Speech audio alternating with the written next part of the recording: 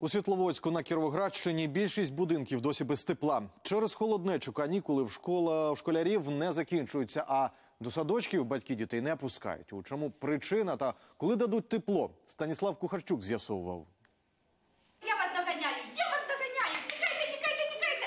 Ми вас доганяємо. Вихованці Світловодського дитсадка бігають не для забавки, а щоб не замерзнути. Температура в групах ледве піднімається вище 10 градусів тепла. Як було тепло, не так було холодно на дворі.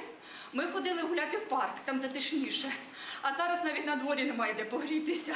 Через відсутність тепла 9 шкіл Світловодська досі на вимушених канікулах. До опалення в 40-тисячному місті підключили ледве третину будинків. Зрив опалювального сезону у Світловодську стався через 50-мільйонний борг приватного теплопостачальника перед Нафтогазом. Газовики відмовились надавати підприємству Світловодськ побут номінації на паливо. Аби зрушити ситуацію з місця, два тижні тому містяни навіть виходили на масову акцію протесту. Власник компанії намагався виправдатись перед ними, але обурений натовп слухати його не схотів.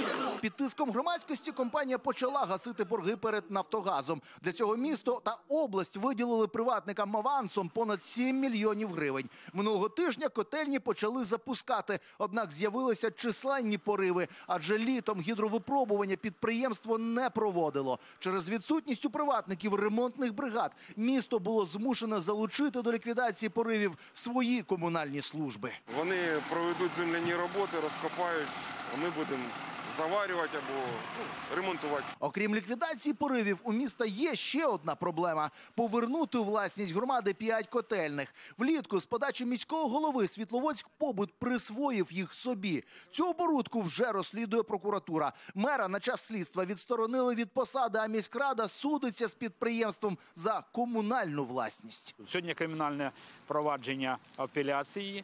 Міський голова скаржує ухвалу про його відсторонення. От, які будуть результати, я не знаю. Але подальша доля підприємства, ви бачите, воно напівмертве. Якщо котельні місту вдасться повернути, то наступний опалювальний сезон Світловодськ почне вже з комунальним теплопостачальником. Поки ж у місті сподіваються, що в найближчі дні всі пориви в мережі ліквідують і в домівках нарешті з'явиться тепло. Станіслав Кухарчук, Павло Тимошенко, телеканал Інтер, Кіровоградська область.